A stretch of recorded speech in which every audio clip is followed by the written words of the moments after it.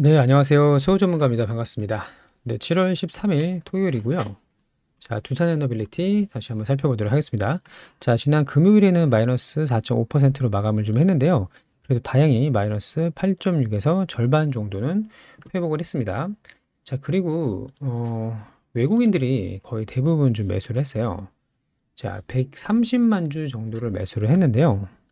자, 외국인 입장에서는 왜 매수를 했을까요? 전일도 그렇고 전전일도 그렇고 자 이유가 반드시 있습니다. 모든 일에는 인과관계가 있기 마련인데 자 이 내용을 설명드리도록 하겠습니다. 상당히 좀 호재로 생각될 거로 좀 생각하고 있고요. 호재가 안 되더라도 우리는 주식 매수 청구권이라는 옵션이 있기 때문에 지금 나쁘지 않은 상황에 있습니다. 자 결론부터 말씀을 드리면 주가는 상승할 가능성이 매우 높다. 매우 높아요. 자 그 이유에 대해서 설명을 드릴 건데 먼저 좋아요 버튼 한 번씩 눌러주시고요. 댓글도 좀 달아주세요. 자, 상승이라고 댓글을 달아주시면 많은 주주님들이 이 내용을 보시고 다 같이 힘을 내서 어, 매도하지 않고 홀딩을 해서 끝까지 매도하지 않고 높은 곳까지 함께 할 수 있도록 하겠습니다. 자, 댓글로 상승, 좋아요 버튼 한 번씩 눌러주시기 바랍니다. 자, 우선 어, 차트나 뭐 흐름은 그렇다 치고요. 지금은 개별적인 이슈로 인해서 움직이는 건데 팩트를 점검해 보도록 하겠습니다. 자, 자료를 보면서 설명을 드릴 텐데요. 자, 지금 어차피 내용은 다 아실 거로 생각을 합니다. 두산 밥캣이 에너빌리티의 자회사로 있던 거를 두산 로보틱스 밑으로 넣기 위해서 또 두산 밥캣은 자진 상폐를 하겠죠. 자, 그러면 지금 이 상황에서 사실 이 두산 지주사 최대 주주 1가 이 지주사에서만 상당히 좀 유리한 조건으로 알 수가 있습니다. 특히 두산 마켓 같은 경우는 돈을 너무 잘 봅니다. 그렇죠? 매출이 10조 정도 되고 영업이익이 1조 이상 나오는데 시가총액은 5조 대죠. 자, 멀티플 5배 정도 수준밖에 안 되기 때문에 저평가라고 생각해서 언젠간 제자리를 찾아갈 것이다라는 어, 생각으로 장기 투자하시는 분들이 좀 많이 있는데 자, 이분들은 지금 선택의 여지가 아예 없는 건 아니지만 두산 로보틱스 주식으로 바꾸던가 아니면 5만 500원 정도의 청산을 해야 된다. 자, 그러면 저평가 구간에서 회사에서 공개 매수를 하겠다는 이야기인데요. 자, 두산 밥켓이 왜 자꾸 말씀을 드리느냐 가장 중요한 지금 역할을 하고 있습니다. 자, 결국에는 이 알짜 회사를 이 알짜 회사를 어, 지주사에서 싼 가격에 매수를 하겠다. 그게 싫으면 로보틱스 주식을 받아가라. 자, 이런 내용인데 자, 에너빌리티 입장에서 생각을 해볼게요. 에너빌리티 입장은 공개 매수가가 얼마였죠? 2만 900원 정도 됩니다. 그렇죠? 그러면 만약에 주가가 2만 900원보다 아래에 있으면 그 기준일이 언제라고 말씀드렸죠? 9월 10일 9월 10일쯤 돼서 2만 900원보다 밑에 있으면 여기 대주주 지분이 한 30% 되거든요. 최대주주 지분. 그럼 나머지 개인 투자자나 또 나머지 지분 들고 있는 국민연금이 한 7% 정도 들고 있죠. 자, 어쨌든 지금 우리 소액주주, 개인 투자자들이 반대를 한다면 이번 이 분할은 무산이 될 수가 있다. 자, 그러면 지금 뉴스로도 이런 내용이 나왔습니다. 거의 자본시장에서 최대치를 악용했다는 내용입니다. 자, 결국에는 두산 바켓을 싸게 가져가겠다. 그리고 로보틱스를 원치 않았던 분들도 어쩔 수 없이 울며 겨자 먹기로 로보틱스로 바꿔야 되는 상황입니다. 자, 두산마켓의 일반 주주에게는 불리하다는 지적이다. 자, 두산마켓 주주는 싫으면 주가를 현금으로 5만 500원이면 5만 500원 바꾸든지 아니면 강제적으로 로보틱스 주식을 받든지 중에 선택을 해야 되는데 자기를 알짜 회사를 이제 상장 폐지 시키면서 어, 지주사에서 최대 주주 일가에서는 좀 이득을 많이 본다 이런 내용인데요. 그럼 반대가 되면 안 되겠죠? 자, 그럼 이렇게 볼게요. 두산 에너빌리티가 2만 900원보다 밑에 있으면 공교롭게 딱 2만 900원인데 에너빌리티의 주주들은 반대를 할 거 아니에요. 그럼 이게 무산이 된다. 아, 정확히 말씀드리면 무조건 무산은 아닌데 공시 내용을 보시면 이겁니다. 자, 주식 매수 청구권이 6천억을 초과하는 경우, 자, 에너빌리티 기준이에요. 여기 에너빌리티 기준으로 6천억을 초과하는 경우에는 분할 합병 계약의 전부를 해지할 수 있다. 자, 그러면 만약에 2만 900원보다 높은 위치에 있으면 반대를 할 이유가 있을까요? 반대를 안 할 겁니다. 그냥 시장에 던지면 된다고 말씀을 드렸잖아요. 그러면 이렇게 보셔야 돼요. 주가는 올라갈 것이다. 이미 사실 저는 이제 체코 쪽에는 어느 정도 결정이 되어 있지 않나라는 생각을 합니다. 그렇죠? 만약에 체코의 이번에 그 원전 내기 이거 속된 말로 좀 선정이 안 되고 나가리가 되면은 주가가 빠지겠죠? 그러면 주주니들은 반대할 겁니다. 그러면 이번 꿀, 꿀합병 두산 입장에서 꿀합병이 모두 해제가 될 수 있기 때문에 결국엔 두산 에너빌리티의 주가가 오를 수밖에 없다. 자, 두산 입장에서는 이번 분할 합병을 하는 게 가장 큰 이득입니다. 네, 여기서 가장 핵심은 에너빌리티의 주가가 빠지지 않는다는 게 가장 중요한 내용이겠죠. 자, 간단하게 정리를 해드릴게요. 좀 복잡하게 생각하시는 분들이 계신 것 같아서 자, 분할 합병 반대 의사 통지 접수 기간이 9월 10일부터인데 9월 24일까지 이 기간 내에 두산 에너빌리티가 2만 900원보다는 훨씬 높은 위치에 있을 것이다가 결론이에요. 만약에 이 가격보다 낮으면 분할 합병이 모두 무산되기 때문이죠. 자, 그러면 어떤 확신이 있어요? 지금 빅 이벤트를 앞두고 있잖아요. 7월 17일 다음 주 수요일인데, 자, 9월까지 주가가 계속 오르려면 어떻게 해야 될까요? 체코 원전을 수출해야 되겠죠. 이게 가장 가까운 거고, 또 하나 더 있습니다. 9월 26일이었나요? SMR, 뉴스케일 파워 공시 예정일. 자, 이것까지 포함이 되어 있습니다. 자, 그러면 어느 정도 결과를 알고 간다는 내용이에요. 오를 수밖에 없다. 결론은 오를 수밖에 없다. 오르지 않으면 가장 손해를 보는 사람은 두산 지주사다. 그렇게 정리하면 되겠습니다. 자, 너무 내용이 복잡하다고 생각하시면은 제가 자료를 정리한 거를 좀 받아가시길 바랄게요. 자, 여기는 어떤 내용이 정리되어 있냐면 얼마 이상 가면 시장으로 매도를 해야 되고 또 얼마 이하로 빠지면 반대를 해야 돼서 주식 매수 청구권을 행사를 해야 되고 이런 내용을 다 정리를 해놨어요. 자, 우선 간단하게 자료를 받아보실 분 상단의 전화번호 010-5904에 8931번입니다. 여기로 두산이라고 문자 메시지 보내주시면 내용 다 정리해서 안내 드릴 수 있도록 할 거고요. 자, 결국에는 9월 10일까지의 두산 에너빌리티의 현재가가 매우 중요한 이번 분할합병의 매우 중요한 키워드가 됐다. 핵심 키가 됐다. 그렇게 보시면 되겠습니다. 자, 너무 걱정하실 필요 없을 것 같고요. 지금 상황이 어떻게 되느냐 좀 어렵다, 복잡하다 이렇게 생각하시는 분들이 계실 텐데요. 딱 하나입니다. 9월 10일에 두산에너빌리티의 현재가가 얼마냐에 따라서 매도 이렇게 저기 청구권을 행사할지 시장으로 팔지 아니면 계약해서 홀딩을 할지 결정하시면 되는 거죠. 자 그리고 두산 에너빌리티가 막 손해는 아닙니다. 이제 두산 밥켓에 대한 배당을 받지 못할 수는 있겠습니다만 그만큼 이제 채무도 떠넘길 수가 있기 때문에 금융비용, 그러니까 이자죠. 이자도 그만큼 많이 줄어든다. 하지만 알짜 회사를 뺏긴다는 그런 느낌으로 당장에는 악재로 작용을 하고 있지만 결국에는 지금 이 가격보다는 올라갈 수밖에 없어요. 그 점을 좀 반드시 기억을 해주시길 바라고요. 복잡하게 생각할 필요 없습니다. 자, 이것만 기억하시면 돼요. 이날의 현재가 이것만 기억하시면 됩니다. 그리고 대응 전략 미리 세워놓으시면 끝. 네, 그러면 어, 오늘 영상 좀 간단하게 좀 찍어봤는데요. 많은 분들이 영상 보실 수 있도록 자 좋아요 버튼 한 번씩 눌러주시기 바라고요. 또 이번에 체코 원전 수주가 거의 확실시 되고 있는데요. 자 댓글로 한 번씩 자 힘내자 혹은 안내드린 내용대로 남겨주시면 좋을 것 같습니다. 단기 매매 단타를 하시는 분들이 아니라면은 9월까지는 보유하시면 돼요 그냥 자 그리고 제가 저 요거 하나 안내를 드릴게요 자 단기 매매방을 지금 운영을 하고 있습니다. 어차피 두산 에너빌리티는 적어도 9월까지는 좀 지켜봐야 될 것 같은데 자 그 기다리시면서 제가 운영하는 단기 매매 방입니다. 자 여기 텔레그램 방인데요. 모두 무료예요. 무료로 진행을 하고 있고 자 하루에 9시부터 10시까지 두 종목 딱 매수 매도하고 끝냅니다. 더 이상 안 하고 어, 시황이라든지 뉴스라든지 공시 같은 거 원래 좀 안내 드렸었는데 이런 거 다 생략하고 그냥 요것만 딱 하고 끝입니다. 자, 그래서 지난 지난주 같은 경우는 뭐 바이오냐 들어가서 수익 내고 나오고 대한전선도 들어갔고 아 이거 매매일지를 보면 훨씬 이해가 빠르실 겁니다. 이 보시면 바이오니아 들어가서 들어가서 바이셀 수익 내고 나왔다. 자, 그리고 같은 날 대한전선 들어가서 분할 매도로 수익을 내가 나왔다. 3%에서 5%. 사실은 이렇게까지는 바라지 않고요. 보통 단기 매매이기 때문에 2, 3% 정도 만족하고 그냥 매도를 합니다.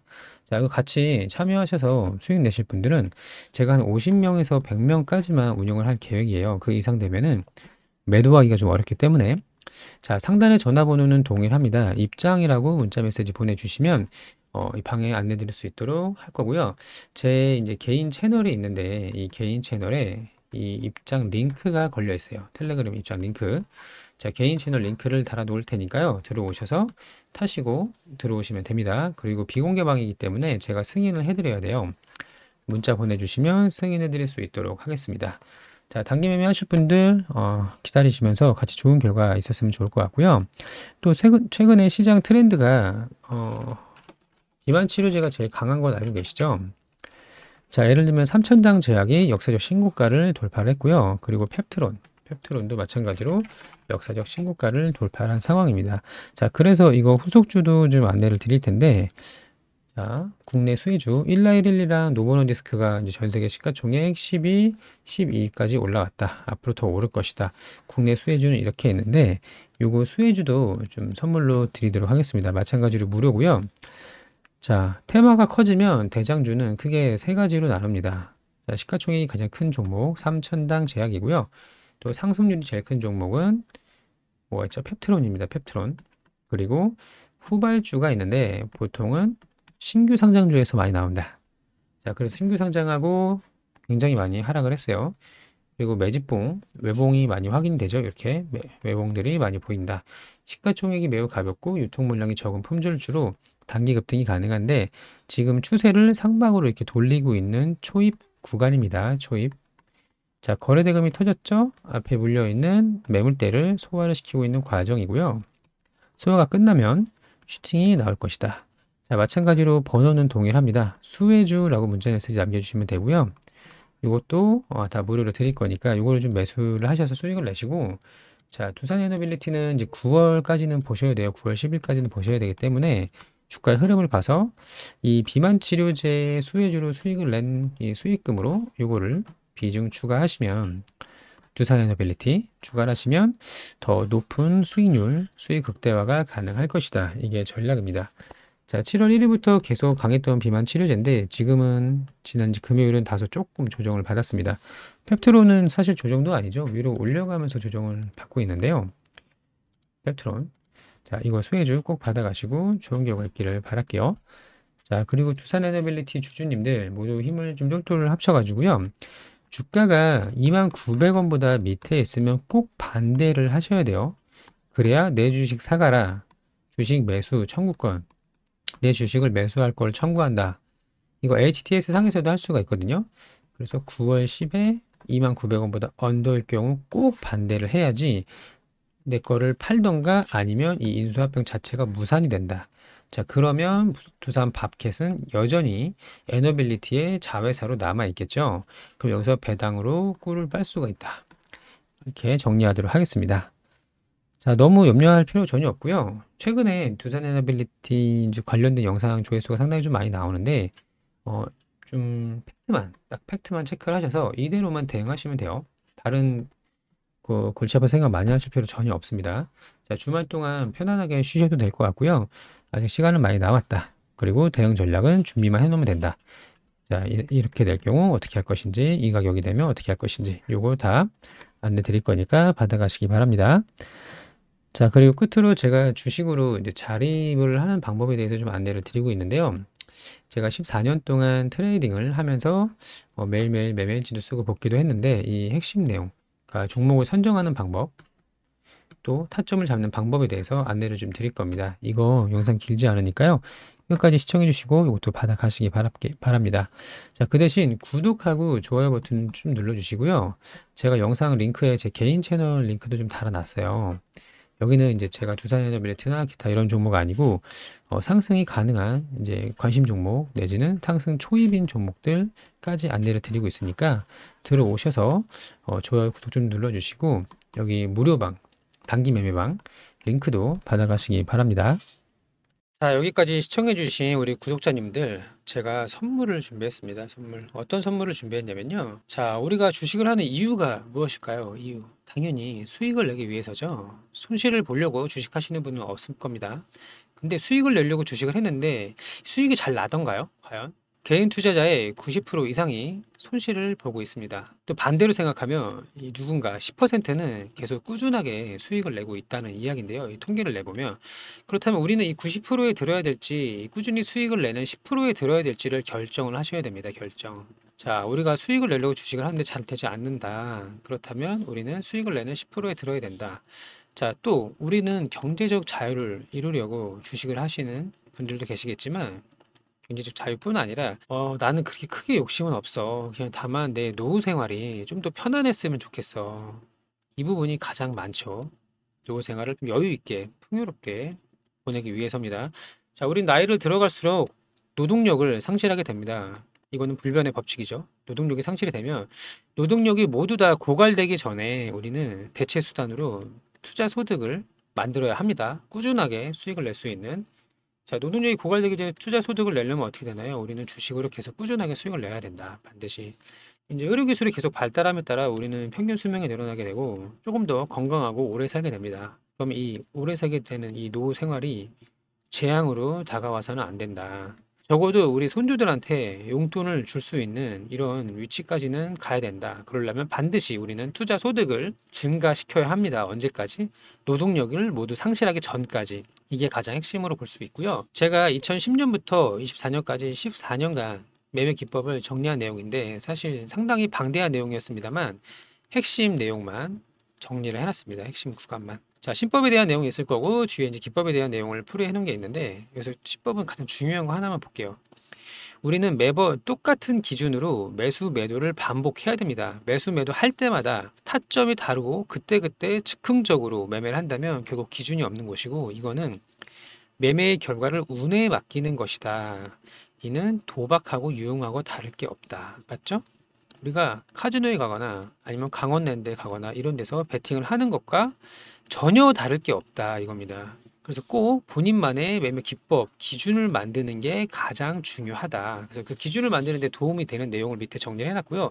추가로 종목을 선정하는 종목 선정의 검색기까지 안내를 드릴 겁니다. 검색기. 자, 밑에 내용을 살짝 보시면 자, 기본적으로 스윙을 기반으로 자료를 정리해 놨고요. 뒤에는 이제 데이 트레이딩이나 장기 투자에 대한 내용도 있는데 이거는 다음에 다루도록 하고 스윙에서 종목 선정하는 방법 어, 장기적으로 우량한 종목이 매집이 끝나고 상승 추세로 들어가는 이런 초입 구간 매집이 끝나고 매집봉을 확인을 하고 상승 추세로 들어가는 초입 구간 또 혹은 장기 우상향 종목에서 종목 조정이 끝나고 박스권을 돌파하는 이런 구간에서 종목을 선정하는 방법 일단 정리해 놨고요. 또 이렇게 포착된 종목을 모두 다 그냥 매수하는 거 아닙니다. 이 중에서 주도주를 구별할 줄 알아야 돼요. 주도주. 시장에서 주도하는 주도주. 자, 여기 옆에 보시면 24년 1월부터 만들어 놓은 이제 스윙 프로젝트 매매 일지인데요. 제가 스윙만 운영하고 있잖아요. 자, 그럼 시장의 주도주가 어떤 게 주도주인지 당시에 초전도체, 뭐 AI 반도체, 비트코인, 최근에 전력이나 데이터 센터 관련주까지 이런 주도주를 구분하는 방법 또 매수를 언제 해야 되는지 이런 타점 등을 다 정리해 놨습니다. 그리고 손절은 어디서 해야 되는지 슈팅이 나오면 어느 구간에서 매도를 하고 익절을 해야 되는지 이런 구간까지 모두 다 정리를 해놨는데요. 자, 주도주 구별하는 방법, 뭐 개별 호재 이런 거 하지 않는다. 개별 종목 하지 않고 역세적 신고가 혹은 상한가 달성 뭐 이런 내용 정리해놨습니다. 또 밑에 중요한 게 매수 타점인데 핵심 부분은 제가 마킹을 좀 해놨습니다. 이거는 영상으로 다 공개하기는 좀 그렇고요. 저희 쪽에 이제 구독 인증을 해주시는 분들한테 다 무료로 배포를 할 예정이에요. 무료로 안내를 드릴 겁니다. 또 목표가 설정하는 방법이라던가 자, 2분할 매도, 3분할 매도 하는 방법, 역세적 신고가 돌파 시 기준봉 잡는 방법 이런 거를 다 정리를 해놨고요. 자, 신고가 기법, 신고가 매매 기법하고 원칙까지 정리해놨습니다. 자, 이런 종목을 이제 검색하는 조건 검색기입니다. 마찬가지로 핵심 내용 마킹 되어 있는데 다 해제해서 보내드릴 거고요.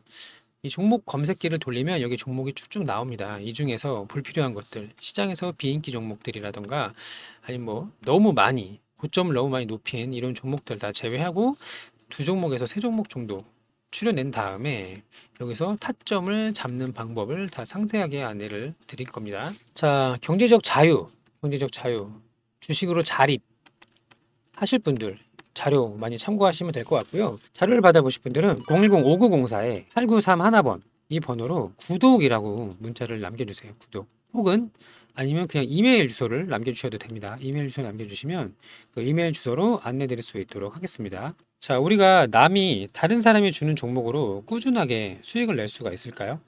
불가능하다. 이거는 당연하죠.